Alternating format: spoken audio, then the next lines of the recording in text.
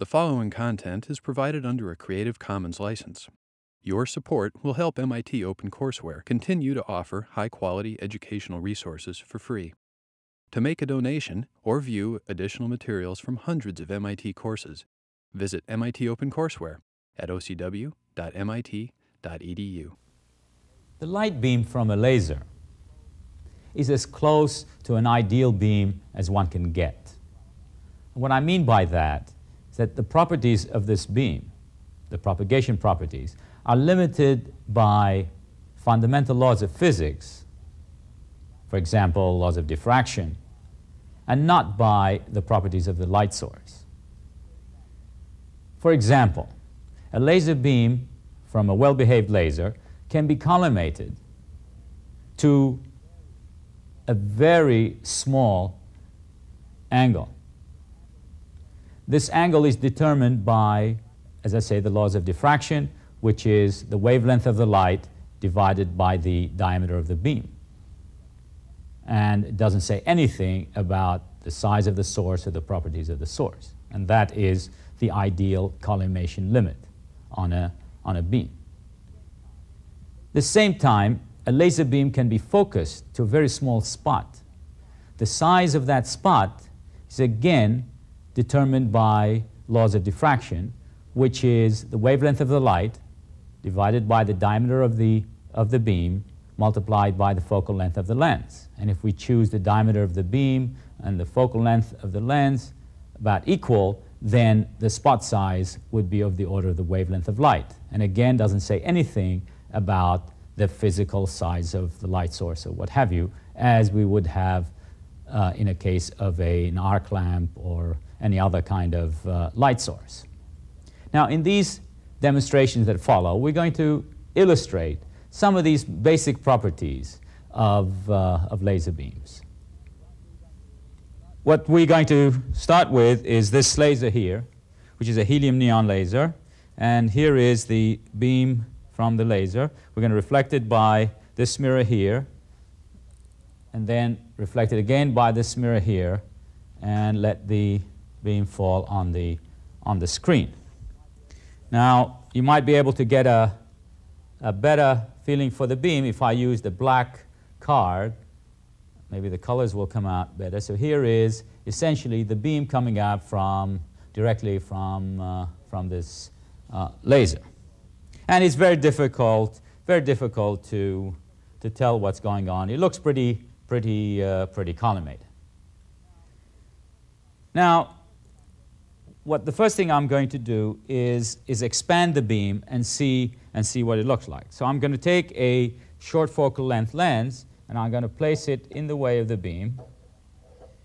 And here on the screen now, we see, we see the, uh, we see the, uh, the expanded beam. Now, if we go take a close-up, we can see that uh, it's got rings and what have you. Now, these these rings that you see, or these fringes, are due to the fact that the laser beam has to go through optical components, like the output mirror of the laser has to be reflected by these mirrors, and then has to pass through this lens over here. And, and they all corrupt the, the laser beam. But we can easily get rid of these effects by placing a pinhole. Here is the, uh, here's the, here's the pinhole and, and what I can do, I can just place the pinhole in front of this lens, or at the focus of this lens here. And uh, if I have my adjustment right, I have then so-called the spatially filtered uh, laser beam. As you can see on the screen now, we got rid of the, all these rings, and this is as close to an ideal laser beam as one, one can get. Now, what we see here is, is the, the speckle. So if I move the screen a little bit, you can see I can wash out the speckle.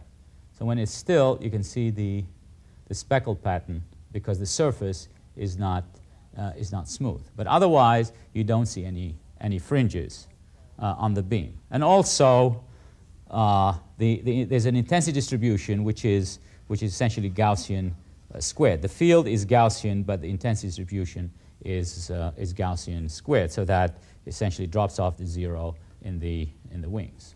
All right, so this is, this is a so-called spatially filtered laser beam, and for some experiments, it's very important to, to uh, spatially filter the beam, especially in interferometry and, and what have you.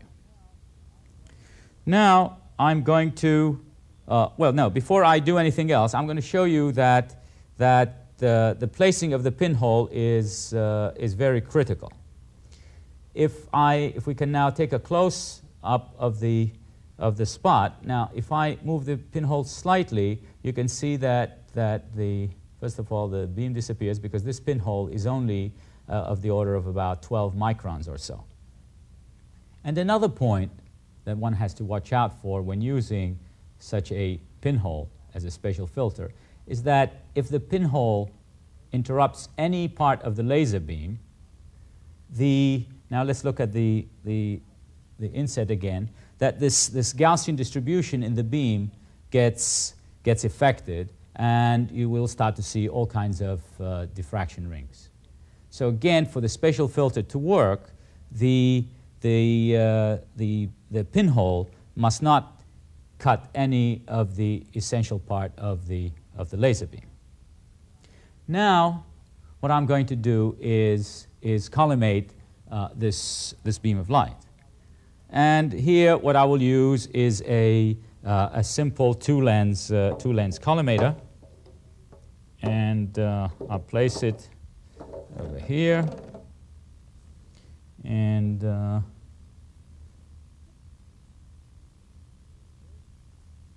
and here it is. Here's the, here's the output from the, from the collimator on the black card. You can see that, obviously you can't check on the exact collimation, but you can see that the beam can be, can be uh, simply uh, uh, collimated.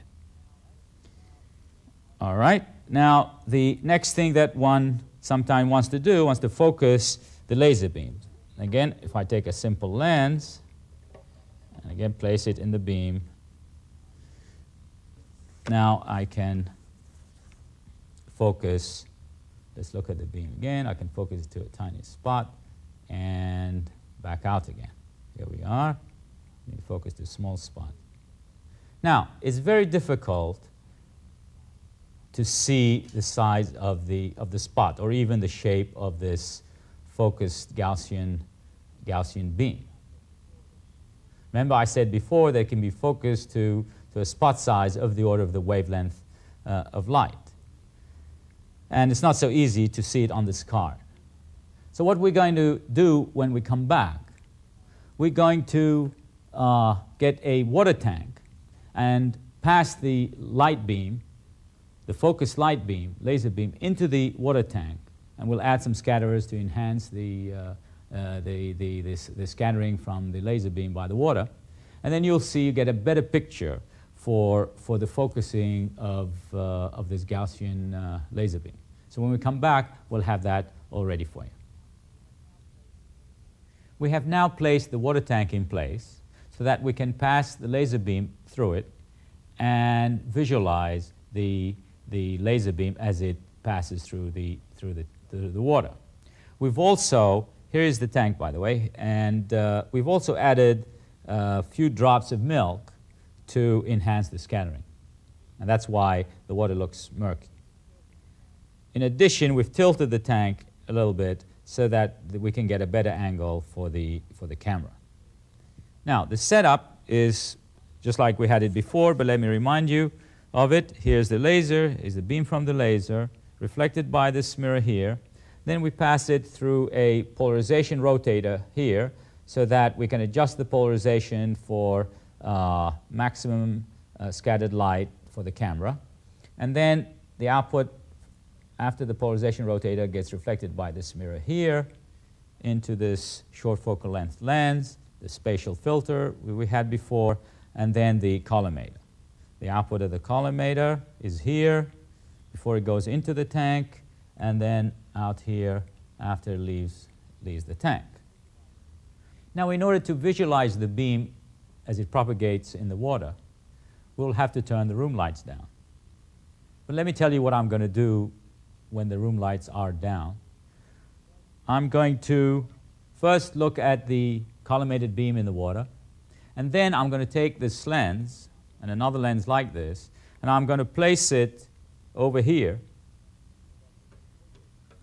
so that we can focus the light into, into the tank.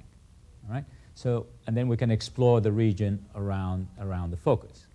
So now we're ready to turn the room lights down and look at the region around the focus uh, by simply observing the scattered light uh, in the water. Now that the room lights are dimmed and the camera focused into the tank, first thing we see is, is the collimated beam, or the scattered light associated with the collimated beam. There's not much I can really say uh, about that.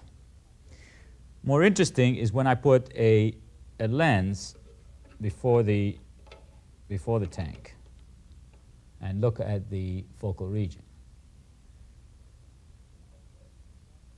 here we are. I'm going to adjust the position of the lens so that the waist or the focused region, the focal region, is in the center of your, of your screen. Now the things that you can observe is that laser beam coming in from, from the left then is then focused to a, uh, a region where the spot is small, spot size is small, and then expands again on the other side. Now, because of the limitation of television recording, and especially recording of color, especially red, you do better if you want to see how narrow that focal region is. You do better if you turn down the color, turn off the color, and look at it in black and white. If you do that, you'll see that, that the, the focal region is now narrower than it is when, when it's red. But in fact, the truth is that you cannot really observe in this way the, the, uh, the true size of the, of the focused spot because that's only uh, a few microns and it's going to be limited by television resolution uh, in, in any case. But at least you get a feel for the fact that the beam is pretty narrow at the, at the focus. Another thing you want to observe is that the region around the, the focus is, is reasonably uh, constant in, in, in diameter. And that's called the Rayleigh region, where the expansion of the beam is not so big. But after that, then the beam expands one side and then symmetrically, symmetrically the, the other side of the beam. The intensity distribution, if I take a slice anywhere along the beam, the intensity distribution is still Gaussian or Gaussian squared. The field distribution is Gaussian, intensity is Gaussian squared. The, the other uh, thing to observe is that the curvature. Now, at the focal, at the focus, or at the, the, the middle of that Rayleigh range, what we call the focus or the waist of the beam, the curvature is, the radius of curvature is, is, is infinite which means that we have a plane wave. Now, the, it stays plane within the Rayleigh region or close to plane, and then, then we develop the curvature. So we have an expanding beam on one side, an expanding beam on the other side. And in fact, if we go far away, the curvature, the radius of curvature is the same as if we had a spherical wave starting at the, at the waist. All right, that's with this lens. Now I'm going to take this lens off and place another lens that is a little shorter in, in, uh, in focal length. And here we are. Oh, have, let me turn it around. And then let me again center it so that you can, uh, the waist is the middle of your screen. You can see now the divergence is, is different, showing that it's a shorter focal length lens. Now if I Move it to one side, you can see that the beam gets quite big very quickly, and also the same to the other side. And then the, the and then the, but the other thing you notice is that the Rayleigh range, or the region around focus, now is smaller, so it's a tighter uh, focus than in the previous case. And as the as the uh, focal length of the lens gets bigger and bigger, then the Rayleigh region gets bigger and bigger also. So here we are with a shorter focal length. lens. And again, if you want to see a nice small focal region, then you want to turn down your color and look at it in, uh, in black and white. So in summary, we've illustrated some of the basic properties associated with the optics of laser beams, such as collimation, focusing, and what have you. Also, we've shown that the use of a spatial filter can help clean up the laser beam, and uh, it looks very beautiful after that. But in order to really measure the properties of, the, of laser beams and measure the exact size of the focus and the exact collimation, degree of collimation, one really needs to use more precise methods, such as taking a tiny pinhole of the order of one or two microns in diameter and then scanning it across the beam at various locations. Otherwise, uh, it's, uh, it's, only, it's only approximate, but I think you'll get a feel for, for these properties in these, uh, of the laser beam in these demonstrations.